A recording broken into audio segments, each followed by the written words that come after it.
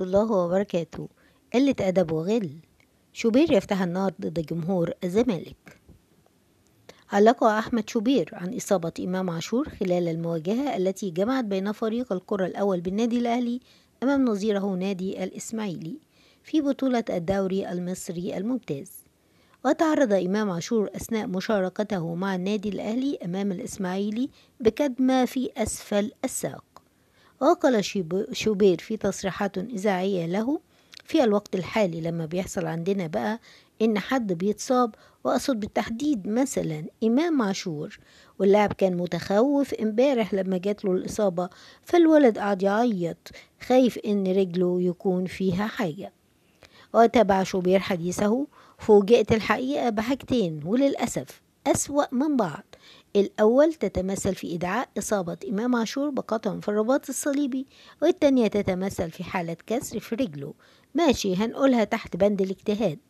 وأضاف الأمر الأكثر سوءا بقى إن هناك دعوات ضد إمام عاشور أما راح الأهلي لعب في الزمالك راح في أي حتة ما خلاص في إيه يا جماعة؟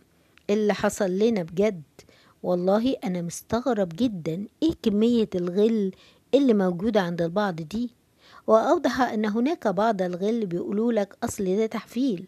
ده ملوش علاقة بالتحفيل ولكن دي قلة أدب على طول كده بوضوح. هي ملهاش حل غير إن دي قلة أدب. وذلك بسبب دعوة البعض على حد. طيب تخيل لا قدر الله لو إن هذا الأمر حصل لابنك أو حد عزيز عليك. أنا مذهول بجد. وكان أحمد جاب الله طبيب النادي الأهلي قد كشف في الساعات الماضية عن تفاصيل إصابة اللاعب إمام عاشور نجم وسط القلعة الحمراء مؤكدا أنه تعرض لكدمة. ووجه الإعلامي شوبير أن المنتخب السابق رسالة غاضبة للجماهير عقب التعليقات المسيئة من البعض عقب إصابة إمام عاشور وأكد في تصريحاته أنه صدم من تعليقات البعض عقب الإصابة. وأضاف أن البعض يردد دعوات مسيئة على اللاعب مثلا الإله تنام ما تقوم ويا رب صليبي. قائلا إيه كم الغل وقلة الأدب دي؟ وتابع أن الشعب المصري تحكمه أخلاقيات تمنعه من القيام بمثل تلك الأفعال المشينة. فإحنا بنرد على الأخ شوبير إن فعلا الشعب المصري تحكمه أخلاقيات.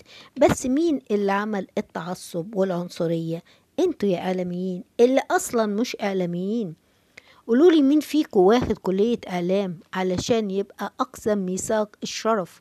لأن الإعلام ده كلمة شرف الكلمة اللي بتطلعها من بقك دي بتهدم مجتمع أو بتبني مجتمع. أنت كل آه كلامك بيهدم المجتمع. أحمد شوبير اللي بيهاجم جمهور الزمالك المحترم بأسلوب لا يقبله أحد على الإطلاق. إعلامي إذا كان إعلامي ليس محايد أبدا. ده مطبلاتي. ما سمعناش أحمد شوبير بينتقد جمهور الأهلي لما شتم شيكابالا بالفاظ عنصرية. عمره ما انتقد جمهور الأهلي وهو بيشتم المصري. وكانوا السبب في المصيبة اللي حصلت في بورسعيد. أحمد شوبير اللي يدينا درس أو يعلمنا مش هو ده. نتكلم إزاي؟ لأن غير صادق وضد الزمالك على خط مستقيم. شوبير عامل برامج في التلفزيون وفي الإذاعة عامل لها مساحة مخصوص لنادي الزمالك واللي بيحصل في نادي الزمالك وجماهير نادي الزمالك ومسؤولين نادي الزمالك ومدربين نادي الزمالك. أنت إيه الكم الغل اللي عندك ده؟ ما تخليك في النادي بتاعك. أنت عمرك ما اتكلمت كلمة في النادي بتاعك. في حقه لما حسين شحات ساب الدين وضرب بالقلم ما سمعناش صوتك يعني. لما جمهور الأهلي بيغلط مش بتتكلم ولا كلمة لسانك ساعتها إيه بياكلوا القطة ولا إيه؟ إحنا مش عارفين. لما الجمهور شتم شيكابالا طلع اللي علينا يقول لنا شوبير إن شيكابالا ما يردش لأن الجمهور ما يقدرش يسيطر عليه ولا نلومه. حتى لو الجمهور عنده عنصرية عايزين نعرف يا شوبير. الجمهور حر في مشاعره ولا لأ؟ ما أنت ما تبقاش بوشين. ولا مش حر في مشاعره. قلنا قول لنا يا كابتن لما شتم شيكابالا في الزمالك. لما شتمتوه جمهور الأهلي طلعت قلت حاجة. نادي بجمهور وإدارة ما شاء الله وأنت بتتكلم عن القيم والمبادئ وشايف كل اللي بيحصل عندك وما بتنطقش ولا كلمة ولا بتقول غير أمين أمين. يطلعوا يطلعوا بيان تقول أمين بيان غلط أمين. الجمهور يشتم أمين. مفيش ولا كأنكم شايفين. مش عارفين إحنا إيه اللي بيحصل ده. مش عارفين الوقت اللي أنت بتديه ومضيعه في أخبار نادي الزمالك وانتقادك لجمهور نادي الزمالك ودانك اللي حاططها دايما على أخبار نادي الزمالك. لو الإعلام محترم يرد على الإعلام الفاضح بأشكاله أنت ما بتردش على حد. يا أخي رد على الإعلام اللي بتنتقد الجمهور بتاع الزمالك اللي المفروض بتقول محدش بيسيطر عليه.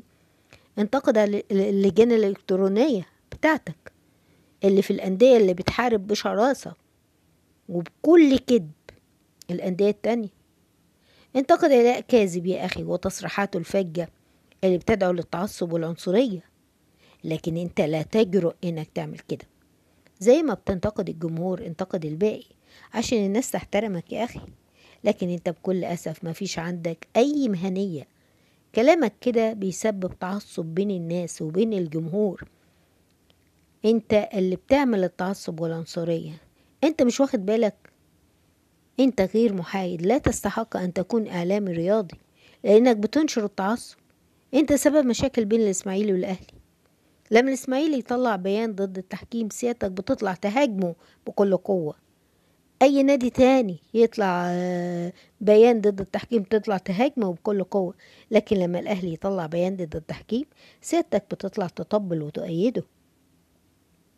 طريقتك دي كرهت النوادي كرهت العالم كله في النادي بتاعك. حد يقول له يا اخوانا ده عيب يا بابا ما يصحش كده. أنا مش عارفة مين اللي علمك الاعلام ده. مين اللي غلوش عن النشيد الوطني يا شوبير؟ ما طلعتش قلت عيب ليه؟ ما هو الجمهور بتاعك.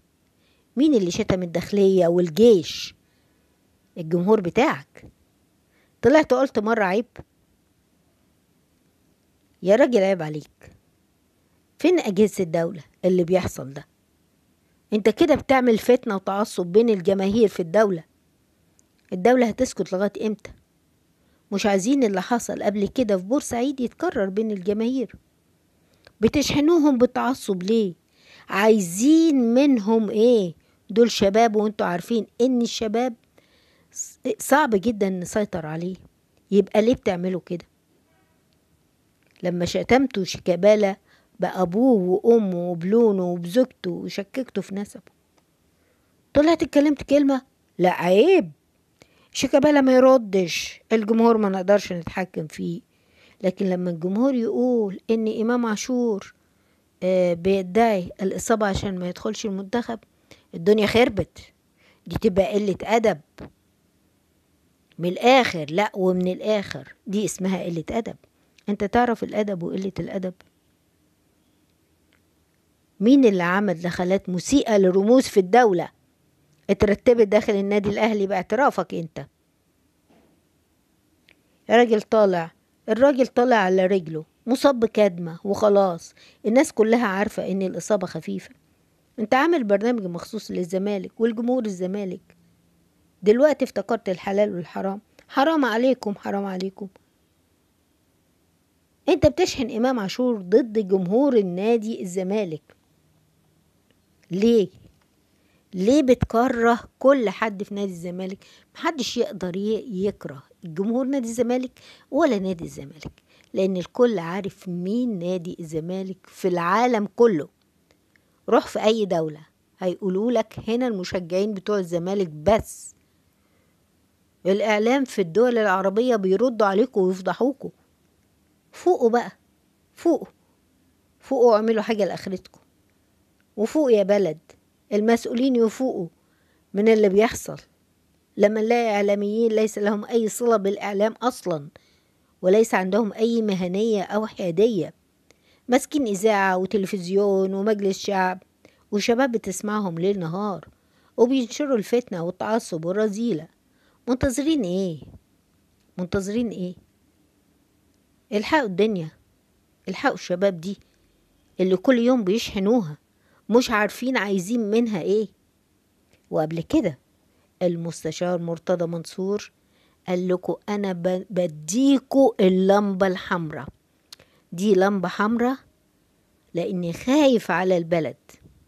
لما يبقى واحد زي علاء صادق ليل نهار بيهدم في دولتنا وبي بيشتم علينا وعلى القيادات بتاعتنا وبيمجد في الأهلي وفي الخطيب وما فيش حد بيطلع يقول عيب ده مش بيتكلم باسم النادي الأهلي.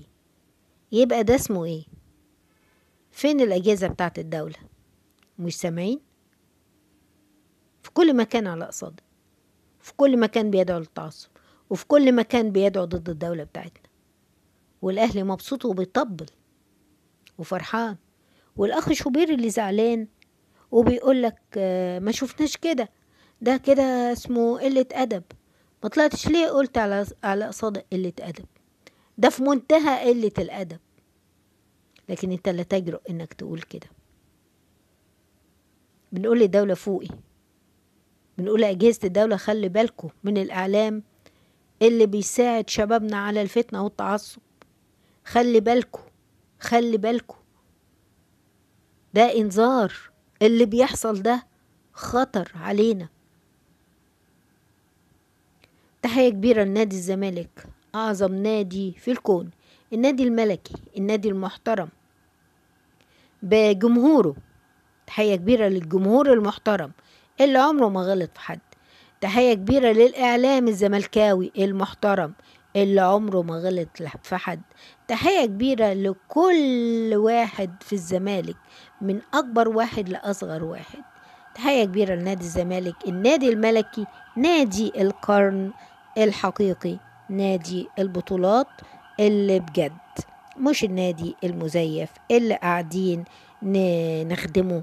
كل المنظومة في مصر بتخدمه. تحية كبيرة للنادي الملكي أعظم نادي في الكون.